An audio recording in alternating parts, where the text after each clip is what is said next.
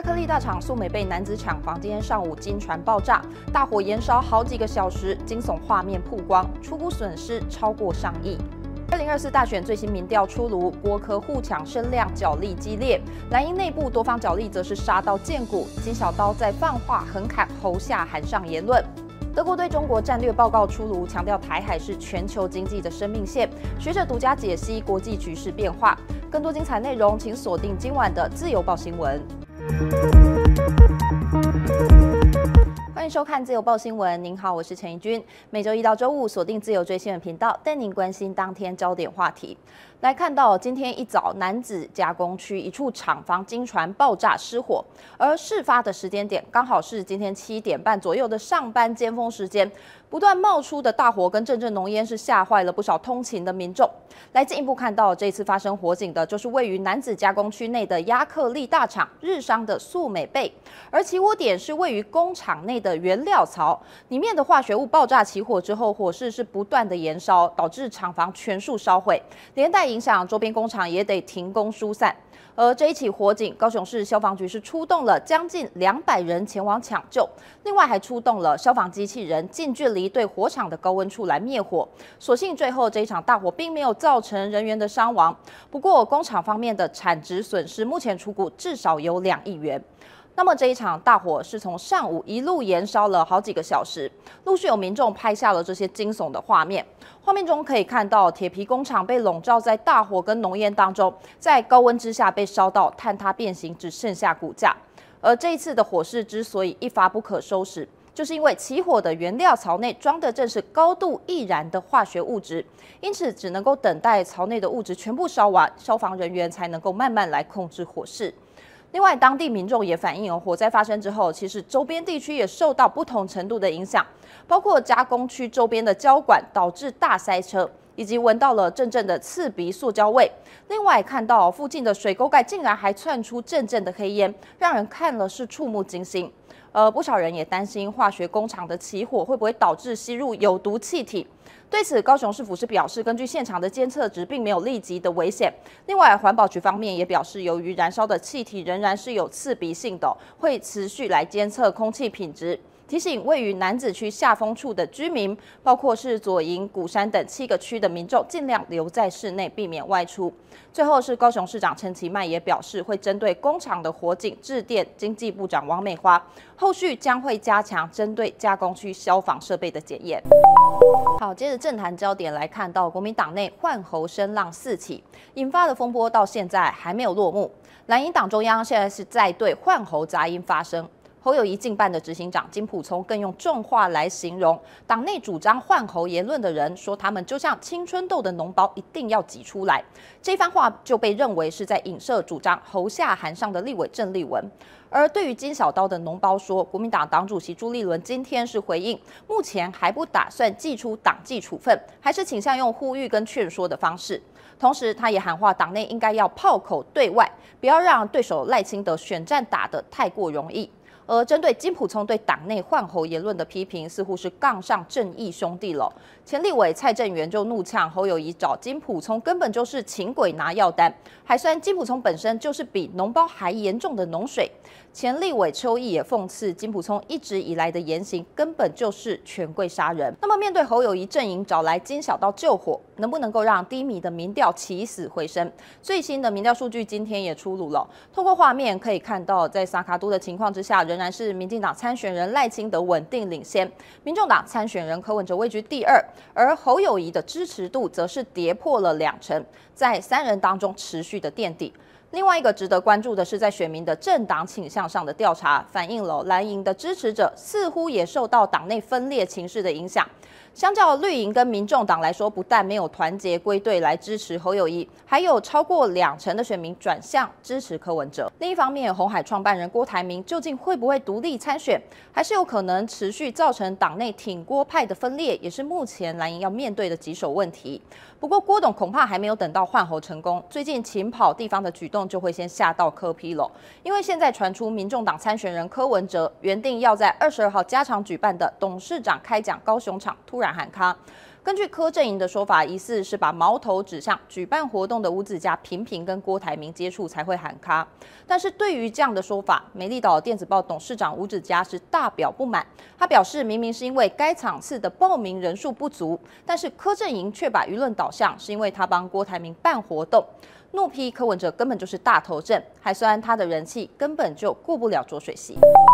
国际焦点来看到，英国与德国最近分别公布了对中国的战略报告，两份报告都明确指出中国的野心威胁。德国甚至还在报告当中十三次提到台湾，强调台海就是全球经济的生命线。战略学者独家解析，欧洲对中国台湾的态度已经有了明显的转变，而这个转变会带来什么样的影响？从台湾的角度，又该如何解读国际的变局？请看记者张维珍的采访报道。英德两国昨天分别公布与中国以及台海相关的战略报告，其中英国认为中国的野心已经深入英国经济的每一个领域，而德国则强调台海是全球经济的生命线，并支持台湾积极参与国际组织。我国驻德代表谢志伟在脸书发文表示，德国对中战略报告里十三次提及台湾，可见台湾扮演相当重要的角色。更认为德国从过去的中国政策转为对中策略，是因为中。中国变了，德国也应该要改变跟中国的交往方式。但是这次整个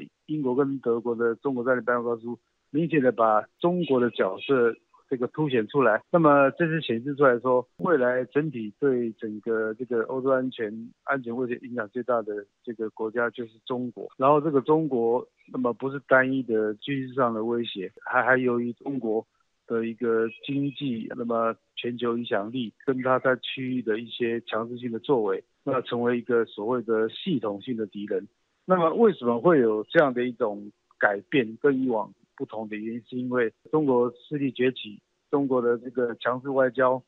呃，跟中国对全球影响力之外，那么还有就是这一次的这个俄乌战争，它这个某种程度哈是偏袒。莫斯科的一个思考来看的话，那么这些也会让这些欧盟国家、哈欧洲国家感受到中国是站在俄罗斯这这一边。那如果是这样的话，那么这当然就会直接影响到整个欧洲安全的整体性跟完整性。现在欧盟整体性来看，对中国的态度是一致性的，把中国当成一个系统性的敌人。现在最大问题就是，呃，这些国家了解中国的威胁之后。那么经济呃交流，那么从中国得到了实质的利好处，是不是能够抵消这个中国对于欧洲安全整体性威胁所带来的一些冲击？那换言之，这些欧洲国家主要大国会面临经济。跟安全是不是不可以兼得的一个呃矛盾态度哈？美国智库新美国安全中心执行长方登日前投书直言，随着中美竞争加剧，各国无可避免的要在美中之间做出选择。如果还想继续保持中立，与美中等距交往，几乎是越来越不可能。在全球战略局势底下，各国家之间的相互依存、相互依赖。或者说相互威胁，这个情境是存在的。我觉得不太可能切开了。某种程度，各国对中国的态度，尤其是欧洲国家，那么他们当然呃深陷在于所谓的安全跟经济啊，那么是否可以呃同时兼顾的一个角度。所以美国呃相关的智库就在讨论到说，呃在对最终政策方面哈，如果无法兼顾的话，要怎么来应对这个问题？所以美国基本上不会去跟他去连接化，或是去交往化，而是要透过去。风险化跟去多元化，或者是所谓的这个危机管理、战略沟通这个角度来达到彼此之间的贸易安全、经济的利益。欧洲跟中国关系的一个走向，会受到中国跟美国或者美中两大权力啊这个互动的一个超级影响。美国很多智库提到说，呃，欧盟国家可能必须要选，那么他们也是一一直在强调说。呃，不管欧盟国家你要怎么选，那么毕竟呃跟美国啊这个具有共同的战略利益啊，又是有共同的民主政治的价值跟这个长久的一个安全同盟关系，所以应该还是要以美国为主导来看跟跟中国的关系。很难两边结果原因是因为呃究竟美国怎么选，那么美国确定之后才能够让这些欧盟国家那么才有更多进一步。战略选择跟思考的一个方向。另一方面，美国国务卿布林肯昨天出席东协外长会议，在场边与中共中央外办主任王毅会面，也再次重申台海和平稳定重要性。不过，王毅并未对此回应，只表示美中两国要拿出实际行动，争取双边关系重回正轨，并认为要坚决阻止灰犀牛，妥善处理黑天鹅，彻底搬掉拦路虎，为中美关系的稳定累积条件，排除干扰。所谓的灰犀牛，就是说美国支持台湾参与呃各种。呃，国际组织活动哈，或是美国呃提供呃武器，那么透过国防授权法案哈，那么强化跟美台的军事交流关系。这些黑天鹅是表示说已经存在了冲突，所谓的拦路虎这种意外事件出现，基本上就是强调说双方要坦诚相见，要共同呃交往来处理一些问题哈。我们要累积双方的这个合作的一个条件，提出来说，那么双方要相向而行，不能反向而为了。他是认为说，美中必须要通过全方位的战略沟通交往哦，让两国必须要平等相向，美国不能再用大国老大哥姿态对付中国哈。而是用平等角度来呃管控分离、管控分歧，那么才有办法能够让所谓的美中战略沟通建构一个新形态的大国关系哈做出贡献。当然，美国也了解到说中国的一个底线态度，所以会更谨慎的。来处理呃涉及美中相关的战略问题。欧美国家陆续意识到中国逐渐形成的威胁，纷纷对中采取去风险的态度，试图淡化与中国的紧张关系和阵营划分。不过，面对美中两大强权加压，多数国家恐怕无法持续保持中立，还是得在安全与利益考量之下选边站队。记者张瑞珍采访报道。啊，全球焦点继续看到，面对国际上美中两大集团的对抗。过去一直跟中国站在同一阵营的俄罗斯，最近因为俄乌战争战况焦灼，加上受到国际制裁等因素，战力是大受影响。现在传出俄罗斯总统普京将会在十月出访中国，参加“一带一路”论坛。但是在种种的变数之下，中俄关系是否会发生变化，也再度受到关注。澳洲学者也分析，俄罗斯在这一场大国角力当中付出沉重的代价。而面对中国国家主席习近平而言，普京的角色也产生了极大的变化。马上带您来看专家怎么说。自从俄罗斯总统普京下令军队入侵乌克兰之后，就成为国际谴责挞伐的对象。而一向与普京称兄道弟的中国国家主席习近平，在这场战争中扮演什么角色，也一直是外界关注焦点。美国智库学者孔明尚近日撰写专文分析，指出中国希望成为这场冲突的最大受益者，因为乌俄战争不仅削弱俄罗斯，若是战事继续延续下去，美国也可能因不断军援乌克兰而使战力受到影响。孔明尚认为，对中国来说，中俄从来就不是盟友，反而在地缘政治利益上互相冲突与竞争。现阶段是因为要共同对抗美国，才组成战略伙伴关系。一旦俄罗斯经济和军事变弱，对中国构成的威胁不仅会变小，也会更加依赖北京政府。事实也证明，中国虽然不愿意谴责俄罗斯，但也不断借机形塑中立形象，更把美国描绘成延长冲突的战争贩子。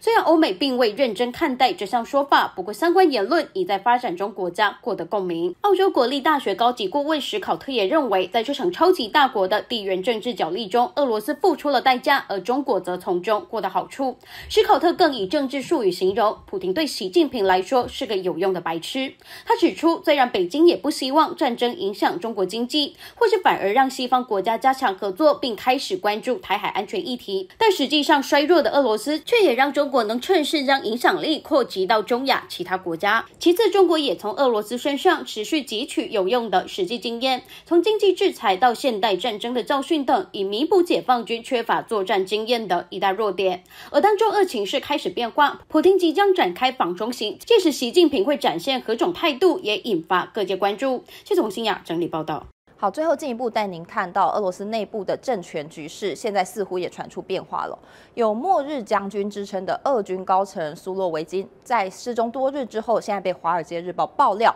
其实包括苏洛维金在内的十三名高官，在瓦格纳叛变之后就被关押起来，原因就在于他们被怀疑知情或者是涉入这一次的叛变事件。而近期也传出有俄军前线的军官，只因为反映了前线的战况艰困，就遭到解职。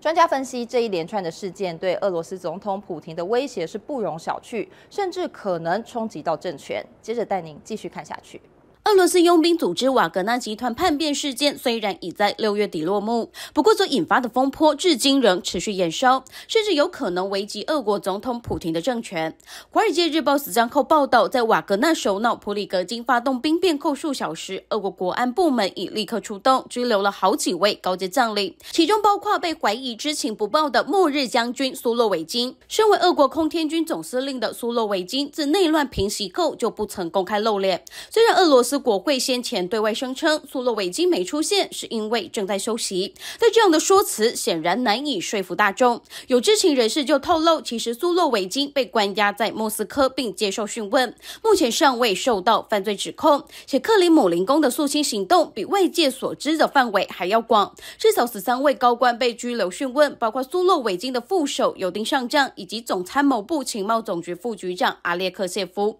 不过两人都已被释放，目前停职中。另一方面，俄罗斯内部对普廷的不满也正在逐渐蔓延。南部军区第五八集团军司令波波夫少将日前出面提报，表示自己因为向军方领导层说出乌克兰前线的艰困情势而遭到解职。波波夫指控军方高层在前线士兵最困难的时候，竟选择在背后捅刀。而随着这项爆料出现，外界也都在密切关注俄罗斯政坛会产生什么变化。乌克兰学者米洛瓦诺夫分析，普廷垮台会分五个阶段发生。第一步是未能实现对乌克兰的目标，第二步则是内部对战争有疑虑。目前已走到第三阶段，也就是普廷对目标偏执，进而针对核心圈进行清洗。此外，大西洋理事会学者扎普坡则专文分析，从苏洛维金被关押到波波夫少将说出真相遭火速解职，都可能进一步激起前线部队愤怒。分析指出，俄罗斯军队是最有能力对政权发起挑战的一股力量。